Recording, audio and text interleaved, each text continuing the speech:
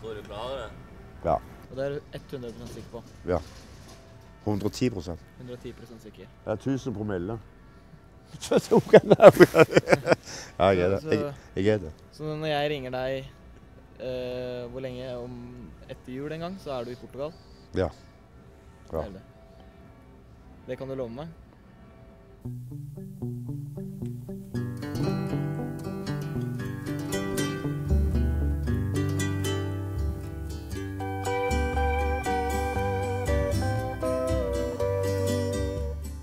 Men jeg, jeg tror jeg kommer til å reise. Men Portugal har jeg alltid likt. Med. Lisboa der, så den øya forbi Karskai eller Caracas eller hva faen det heter. Der var det enormt fint. Det var sånn akkurat som å komme til, på, Jæren fra storby til Jæren, holdt jeg på å si. Ikke var det en restaurant, masse sånne portugisiske senioritas, holdt jeg på å si. ja, vi tar og vandrer litt. Det er kaldt å sitte her. Og,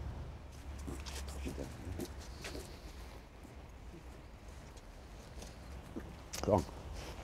Hei sann, velkommen til Stavanger, Norway. Er så tar taske, da. Hun er ikke så sur. Jeg vet hva du skal nå. En, femt, 50 er ikke en hundrelapp. Har du femslapp i dag? Ja. Ja, hvis du har en hundrelapp, så sier jeg ikke nei takk. Da? Var det 1200 kroner. Ja, det, det, det er derfor det er så kjekt å stå her ute. For det, det er en sånn møteplass for alle disse her som som ikke har det så godt. Så kommer de her og låner penger fra, fra trygd til trygd. Holdt på å si. De låner fra de får trygd til det varer i to dager, og så låner de til de får neste trygd. Og de kommer tilbake igjen og betaler alt. Gjør alltid det. Alltid. Ja, jeg har jo 10 500. Noen sier jo det at du skal ikke låne til dem, for de får jo bare mer drikke. Sant? De finner det jo Får jo en, pla, eh, en plass allikevel. Her. Ser dere hundrelappen? Falsk han òg. Nei da. Unnskyld. Unnskyld, må jeg si. Det er den snilleste dame på torget her. Det er en del penger her får jeg trygt. Allikevel så begynner han å mase om å låne penger for å gå hjem til gamle for å få penger dagen etterpå. Og da begynner min hjerne sånn å funke. Er det andre så han skylder penger? For jeg mener det nytter ikke å betale sånne folk masse penger.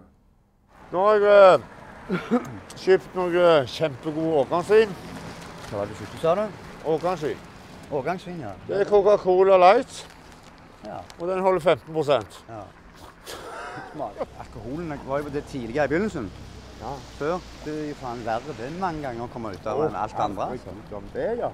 Men du lever jo lenger enn du går på alkohol. Jo. Men, uh, Du har ikke den faren for overdosering, Nei, ikke sant? Men uh, det er et sant helvete å komme ut av. Ja. Du kan jo drikke deg helt, det går jo an. Ja. Her døde far min med alkohol. Han ble 57 år. Det Ja. huset her. Det huset her døde far min. Hva slags hus? Det? Det det er skomak- gamle skomakerverksted. Når du mista faren din, så var ikke det Nei, det var ikke nedtur. Han sa til meg sjøl noen dager før han døde at uh, Da ble han kristen sjøl. Så sa han det at uh, om jeg dør, så kommer det til bedre verden.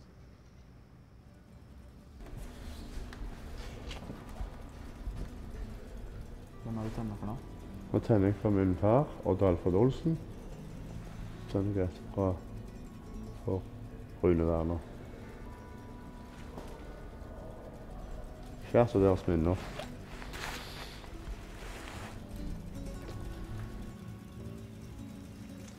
Når han mister mora, så skal han ta de pengene han arver derfra, så skal han flytte til Portugal og bo der. Er det sånn noe han sier som han ikke får gjennomført, eller tror han en, en gang kommer til å sitte der? Han har, han har snakket om denne Portugal i, i så lenge nesten jeg har kjent han. Vi hadde jo til og med innsamlingsaksjon her på varmestua. Alle var oppe i en tier da og tier da og sparte penger. Og de fikk en, og de pff, forsvant. Dessverre. Jeg tror, jeg tror ikke Det hadde vært kjekt om han hadde klart å gjennomføre noe. Men jeg tror ikke han greier det. Nei.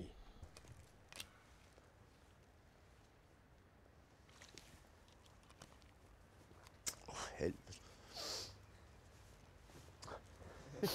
Her bor du, Ja. En som ikke hadde røykvarsler, men den ramla jo ned. den. Kjøleskapet.